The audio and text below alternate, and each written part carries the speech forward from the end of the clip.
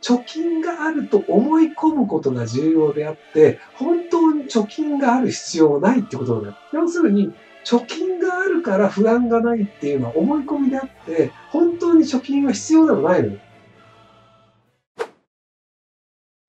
例えばさ、いいねボタンとか押すわけじゃないですか、Facebook とかで。で、あれってさ、自分の意見に賛同するものだったら、いいねを押すみたいな、割とアルゴリズムでやってる人って多いんだよね。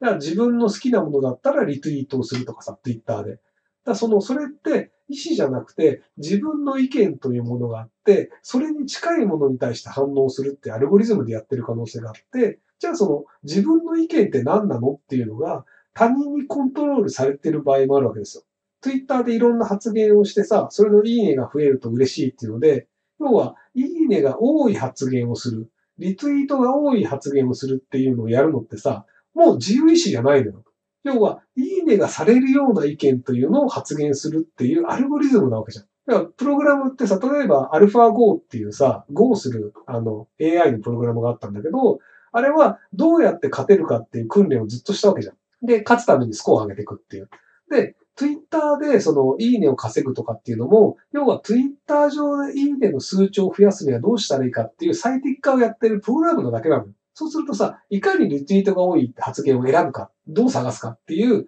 プログラム的なことをやっちゃってるわけよ。だからそれってもう自由意志じゃないんじゃないの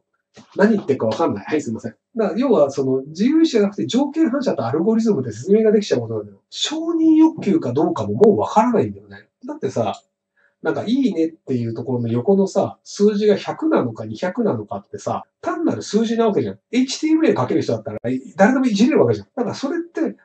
に承認欲求が満たされてるのかっていうと、もう多分わかんなくなってると思うんだよね。数字がさ、111と112で何が違うのか、10と100で何が違うのかってもう答えないじゃん。多分数字が多い方がいいっていう思い込みっていうルールが必要で、で、そのルールに従ってるだけで、もう承認欲求っていう欲求とは離れてる気がするんだよね。哲学的な話になってしまいました。はい。使命感。ルールを自分で決めちゃってるんだろうね。多分その、いいねの数字が多い方が自分にとって幸せだという、まず思い込みをしていて、実際でもさ、その数字が大きいかどうかっていうのは、本当に幸せかどうかとは関係なくなっちゃってるんだよ。なので、ルール自体を決めて、そのルールに従ってることが楽しいというふうに思い込めて、で、実体として楽しいかどうかは関係ないけど楽しいと思い込めてるからそれでいいんだろうね。数字が高い方が幸せであるというふうに、まず思い込んでください。で、思い込んだ時点で、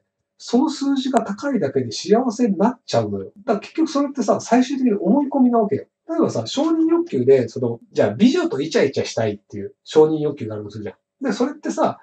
美女がいて、イチャイチャできるっていう状況が必要なんだけど、いいねという、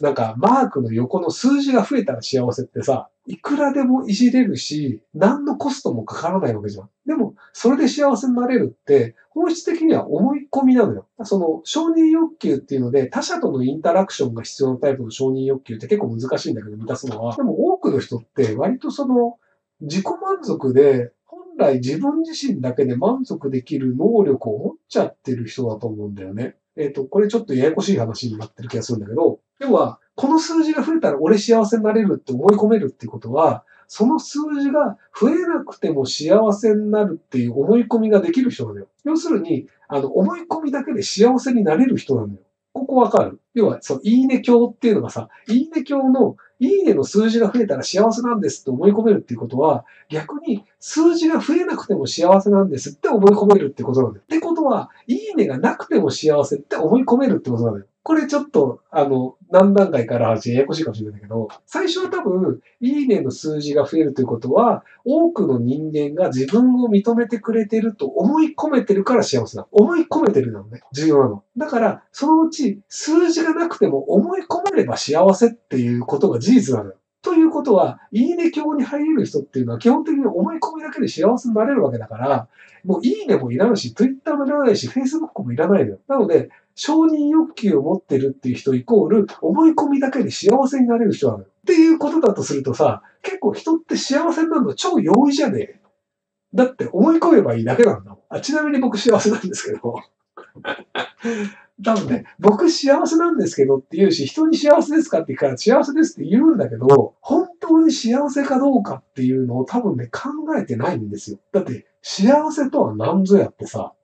答え難しくない？だ例えばじゃあ、その、美味しい食事を食べたランキングでいくとさ、別に僕多分そんなに大して美味しいもの食ってないんですよ。あの、高級ななんか自動車持ってるかというと別に持ってないしさ、幸せかどうかって、その、具体的な比較をされると、そんなに僕、ないと思うのよ。でも、幸せですかって言うと、反射的に幸せですって言えちゃうのよ。で、それは多分僕が幸せだと思い込んでるからなのよ。貯金だろってあるんだけどさ、貯金もさ、本質的には数字なわけじゃん。多分ね、僕ね、貯金を使い切らないで死ぬんですよ。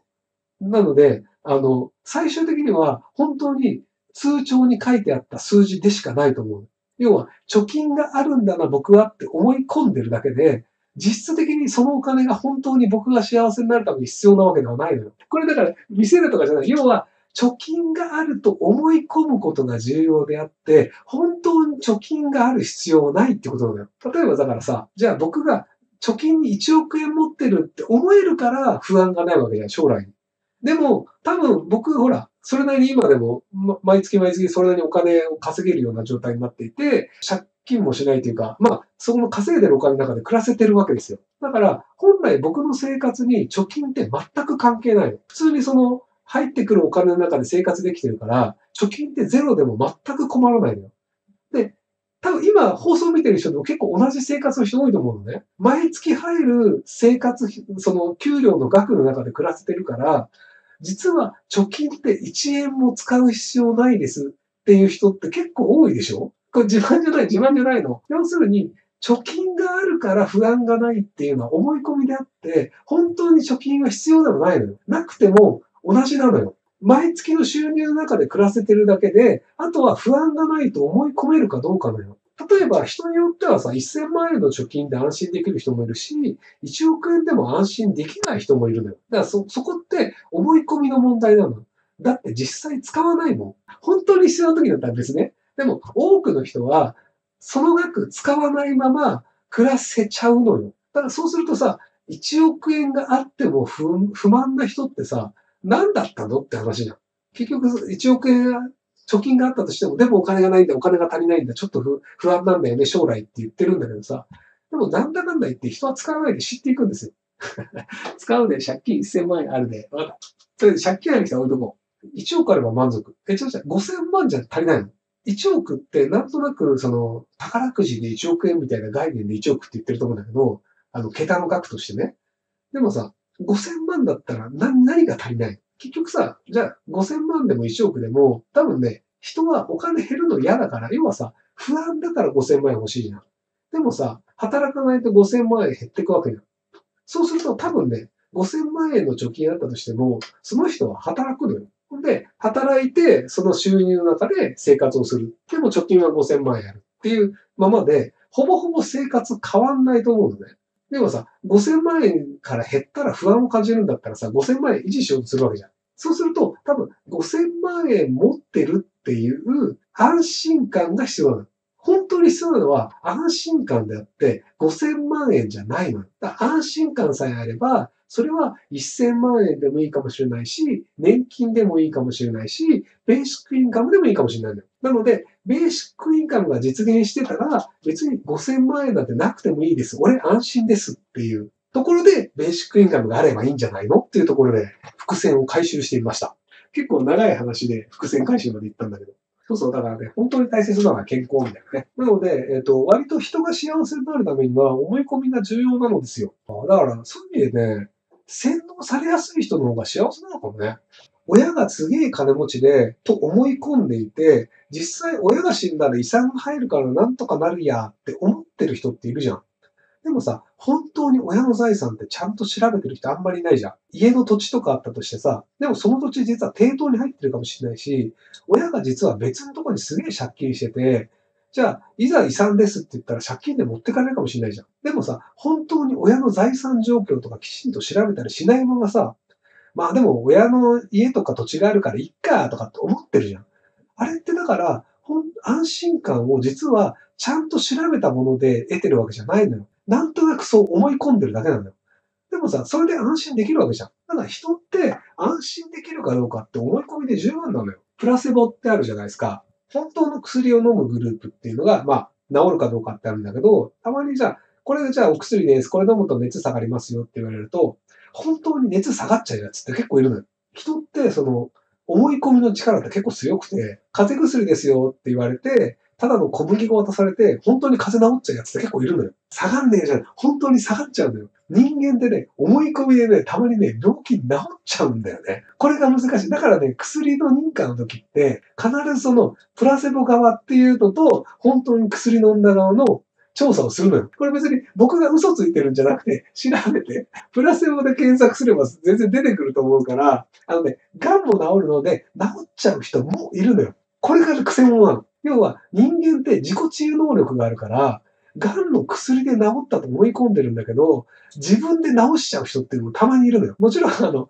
薬飲んだ方が治るんだよ。ただ、あの、自分で治っちゃう人もいるの。だから、薬なのか、自己治癒なのかっていうのが分かんなくなるから、ちゃんと薬の効果で治しましたっていうために、偽薬派っていうのも作って比較するんだよ。要は、何にも飲まない人っていうので、でも例えば風邪だとさ、何にも飲まなくても、10人に8人ぐらいほっとけ治るんだよ。家で寝てるだけ治るんだよ。で、今度は風邪薬ですよって言って、本当に風邪薬飲ませましたと。で、そのうちやっぱりね、10人に9人ぐらい治るんだけど、薬飲んでも治んない人っているのよ。10人に1人ぐらい。今度は薬ですよって言って小麦粉を飲ませる層っていうのがいるんだけど、結構小麦粉でも10人に8人ぐらい治っちゃうのよ。そうすると、本当に薬が役に立ったのが、薬ですよって渡せばいいだけなのかっていうのの、その比較っていうのをちゃんとやらないと、効く薬かどうかっていうのもわかんないわけじゃん。だから、薬に効果があるかどうかって調べるときに、その、プラセボっていう偽の薬っていうのを小麦粉なんだけど、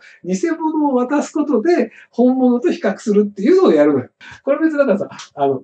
事実の話をしてる。あ、だから、偽札渡してプラセボ貯金はありかもね。例えばだからさ、親がさ、アタッシュケースにさ、すげえ現金入れてるのをチラッと見ちゃったとするじゃん。それは仮に偽物だとしてもさ、わかんないじゃん。そうすると、あ、うちの親結構金持ってんだっていうので、割と満足しちゃうのあると思うんだよね。